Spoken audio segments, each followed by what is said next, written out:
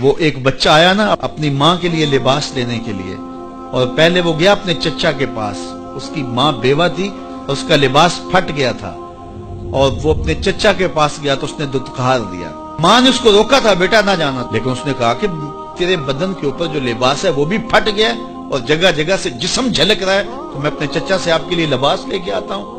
پھر جو رویہ اس نے اختیار کیا تو واپس روتا ہوا آ رہا تھا۔ تو کسی نے راستے نے پوچھا کہ کیا ماجرا ہوا؟ اس نے کہا، چچا کے پاس گیا تھا، ماں کے لیے لباس لینے، اس نے دلا کے بھیج دیا۔ اللہ اکبر۔ تو اس نے کہا کہ جا سین حرم میں محمد نام کا ایک شخص بیٹھا ہوا ہے۔ اگر تو اپنا دکھڑا اس کے سامنے پیش کرے، تو وہ امید ہے تمہیں رد نہیں کریں گے۔ لیکن سن لے، ان کا دین کوئی اور ہے۔ اللہ اکبر اپنے ماں کے پاس آیا۔ تو ماں کو کہا کہ چچا نے رلا کے بھیج دیا، لیکن آپ کی حالت مجھ سے دیکھی نہیں جا رہی۔ بچہ ابھی شعور کی منزلوں میں قدم رکھ رہا تھا، پہلے بہت چھوٹا تھا، اب اس کے اندر ایک جذبات تھے بچے کے اندر۔ تو ماں نے کہا کہ بیٹا، نہیں، ان کے پاس نہیں جانا۔ سنا ہے کہ جو ان سے ملے دین دھرم چھین لیتے ہیں اس کا۔ اللہ اکبر۔ تو حضور علیہ السلاۃ والسلام کے پاس جانے سے ماں روکنے لگی۔ لیکن بچے نے کہا کہ امی، میں پکا رہوں گا، بتوں کا وفادار رہوں گا۔ تم اس ٹینشن کو، اس پریشانی کو چھوڑ دو۔ اور حضور کی خدمت میں حاضر ہوا۔ حضور سہ نے حرم میں چادر اڑے بیٹھے ہوئے تھے۔ اور جا کے کہنے لگا، میں پہلے بات آپ سے کر لیتا ہوں، آپ کا دین میں نے قبول نہیں کرنا. حضور مسکرا کے بولے، بیٹا بتاؤ، کس لیے آئے ہو؟ کہا، میری ماں بے لباس ہے، میں آپ سے لباس لینے آیا ہوں. حضور نے چادر رحمت اتار کے اس کے کندھوں پہ ڈالا۔ اللہ اکبر۔ وہ واپس آ گیا اور ماں پر حضور کی چادر اڑائی۔ اللہ اکبر۔ اور ماں نے کہا کہ بیٹے، اس نے اپنا دین تو نہیں تجھے دیا؟ کہا، نہ، میں نے پہلے کہہ دیا تھا، تیرے دین نہیں مانوں گا ماں کہنے لگی، پتر، اس کا دین ماننا چاہیے۔ یہ جس نے رحمت کی چادر ہمارے سر پہ تار دی۔ اللہ اکبر، تیری تک کے ادامہ میں مرید ہو گئے۔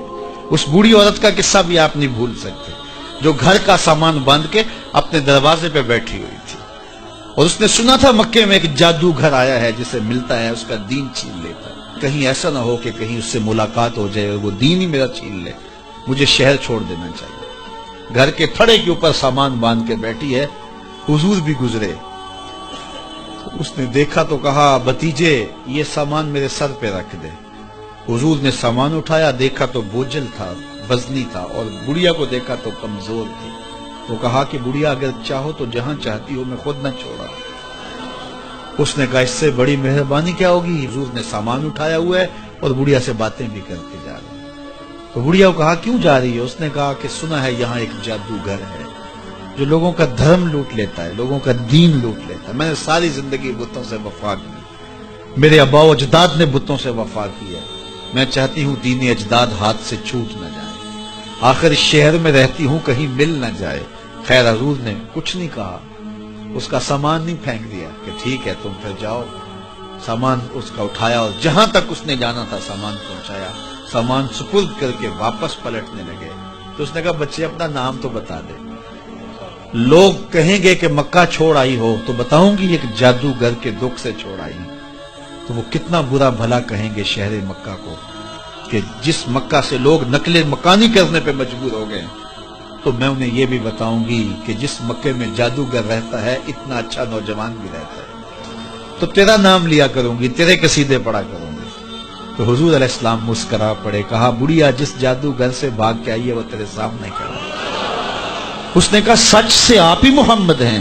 حضور نے فرمایا، نام میرا یہی ہے۔ تو اس نے کہا، پھر آپ کا جادو میرے پہ چل گیا ہے۔ اللہ اکبر، تیری تک کے ادامہ میں مودی کو لوگوں کی خدمت کریں، بوڑھوں کے کام آئیں، دکھیوں کے کام آئیں، مصیبت زدہ کے کام آئیں۔ حضور یتیم ہو کے یتیم پر برتے لاچاروں کی مدد کرتے، لوگوں کے گھروں میں پانی بھر کے دے دیتے، اور دکھیوں کے کام آ جاتے، اور مصیبت زدوں کے کام آ جاتے۔ تو حضور سے پیار کرنے والوں امت میں آپس میں ہست نہ پھیلاؤ، بغض نہ کرو، نفرتوں کے پہاڑ کھڑے نہ کرو۔ ایک دوسرے سے پیار کرو، جڑو، امت امت وحدہ بنے، اور اپنے ماحول کو، اپنی معاشرت کو، ایک خوبصورت معاشرت کا رنگ دو، اور اپنی زندگی کو حضور کے نام کر دو۔